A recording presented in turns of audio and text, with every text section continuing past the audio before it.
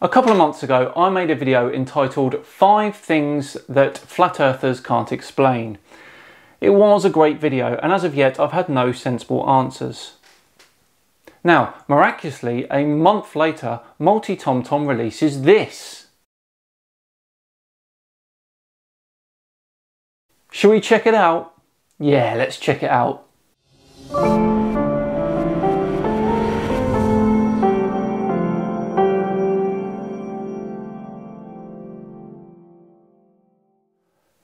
Hello all and welcome along to another episode of Flat Earth Friday with me, SciManDan. Thank you very much for joining me. Yes, you may remember Multi Tom Tom from an old Flat Earth fail compilation. Check out this clip. That black spot in the sky, that is the real sun. Classic. Well, he is back and he means business.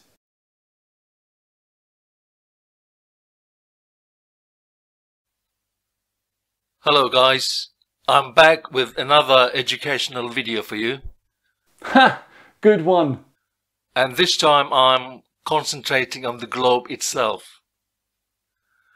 Now, did you know that there are zero evidence for to support a globe? Absolutely none. Clearly you've not been looking, Multi Tom Tom.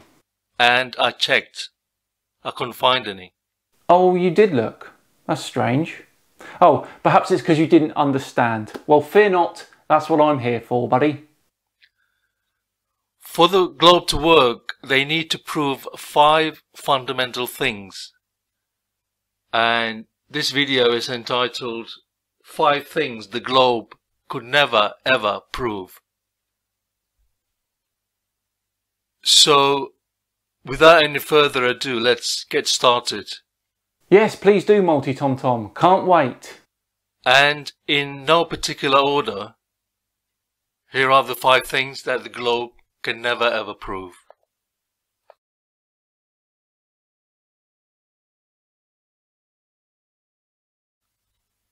One, water. Well, that's easy. Next.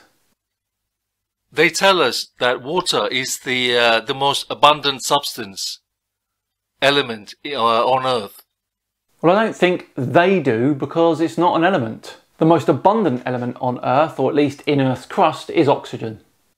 They tell us that it covers 70% of the Earth. And they need to prove that water bends around a curve and forms into a hump over the oceans. A hump? Nobody has ever proven that to be true.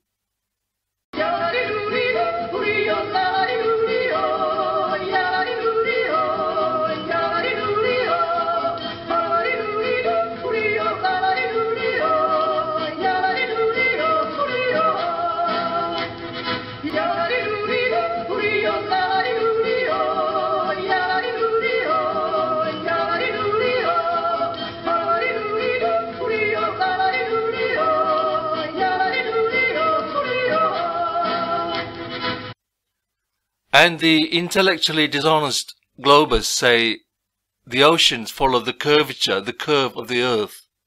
Well, they do. But they can't prove it. Water and liquids have certain qualities, physics that nobody can debunk. Water flows from higher elevation and then it seeks its level and settles. Well, the thing is, it doesn't need to be debunked because if the thing that that water is settling on or in is a sphere, then, well, you know. Nobody can deny that. If you do, you are being dishonest. Well, I'm not. Simple water debunks the spinning basketball earth in the vacuum of space. Well, it doesn't. Poor first point. Let's see if any of the others are any better.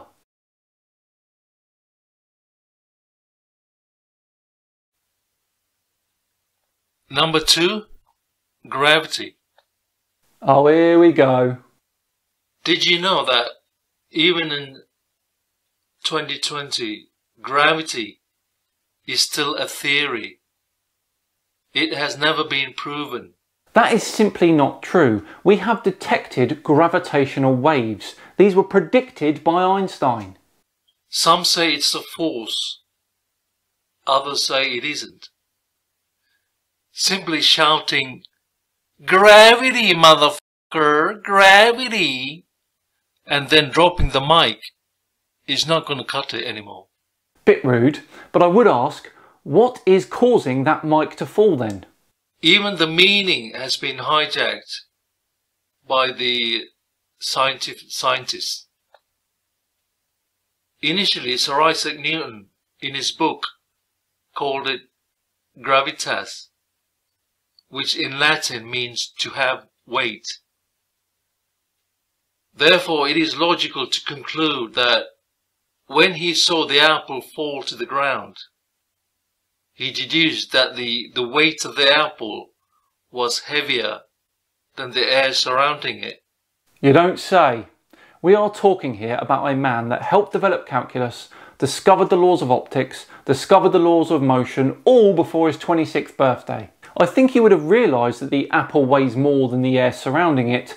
I think he was more concerned with the mechanisms as to how that apple falls. Therefore, it fell downwards to the ground. Makes logical sense, right?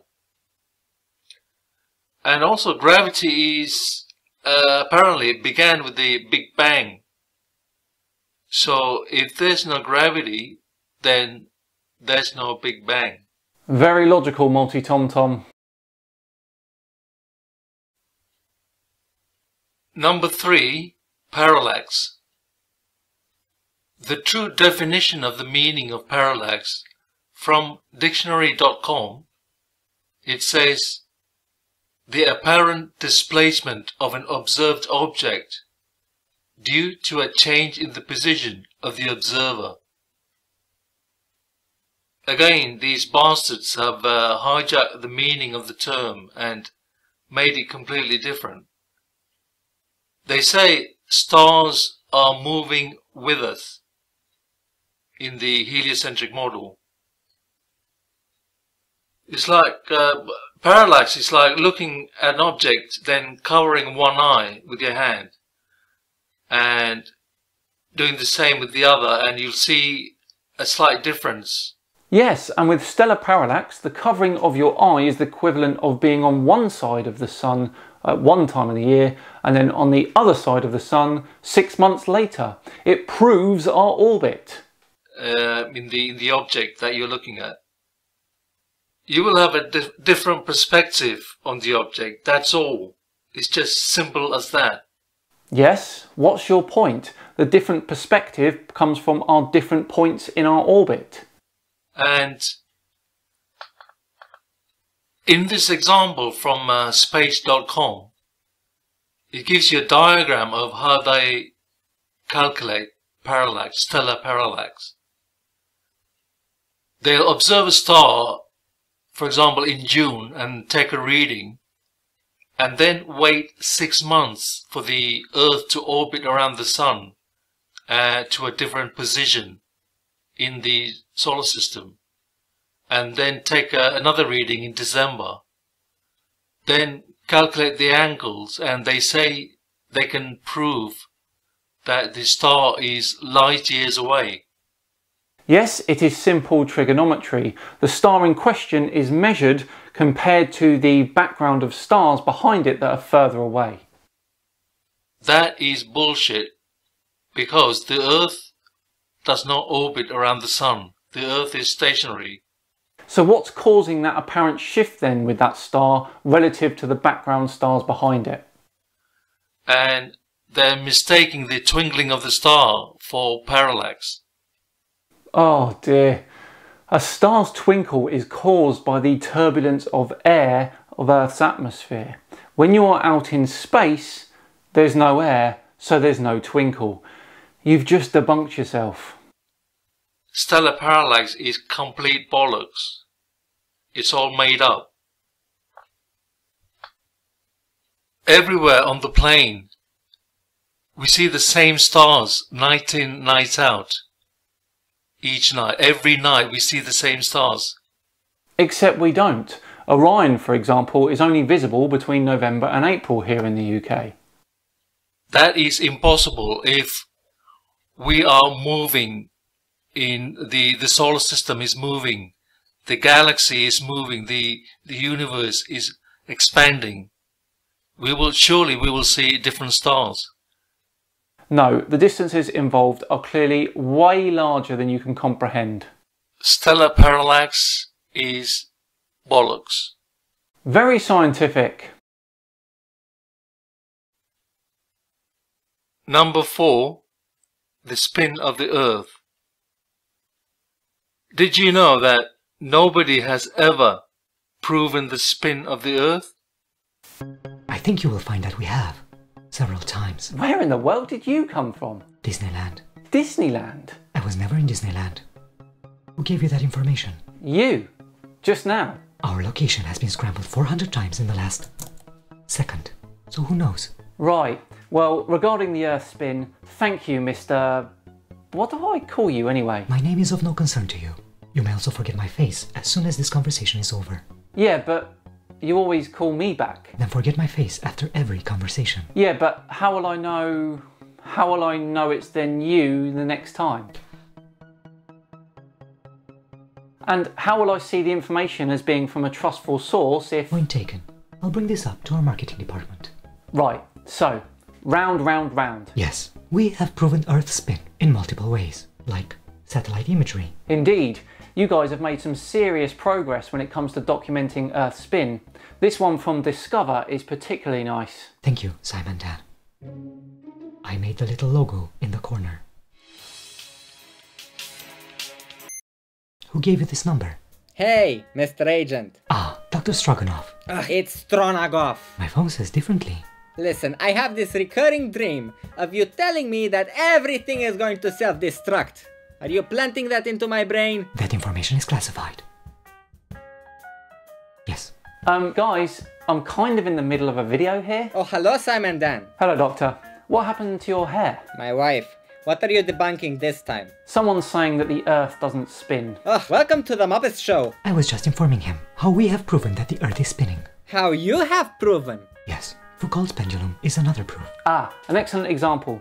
For those of you at home, Foucault's pendulum is a huge pendulum with a weight attached at the bottom. If you can get it spinning for long enough, the plane of the pendulum will rotate through 360 degrees as the Earth rotates beneath it. With a bit of clever maths, you can predict your exact latitude based on the deviation that the pendulum makes. Yes, proof. But wasn't that Foucault? You didn't prove anything. Well, yes, but. But. Okay, gyroscope drift. Ah, a very good... I heard a flat earther prove that. If you drop something from a tall tower, there's an eastward deviation. That was Johann Friedrich Benzenberg. Mm, sunrise and sunset. That's proof in itself. Circumpolar stars. Oh, you put the stars up there, did you? Doctor Who. Really?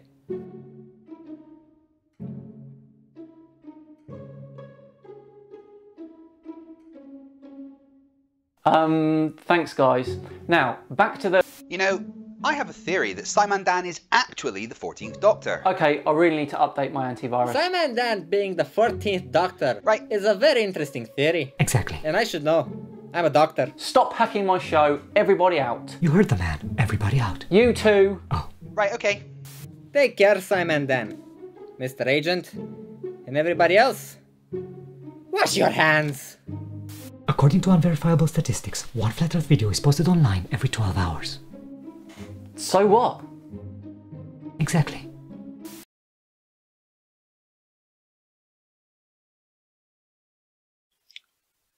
Number five, the curvature of the Earth. Did you know that the curvature has never ever been proven?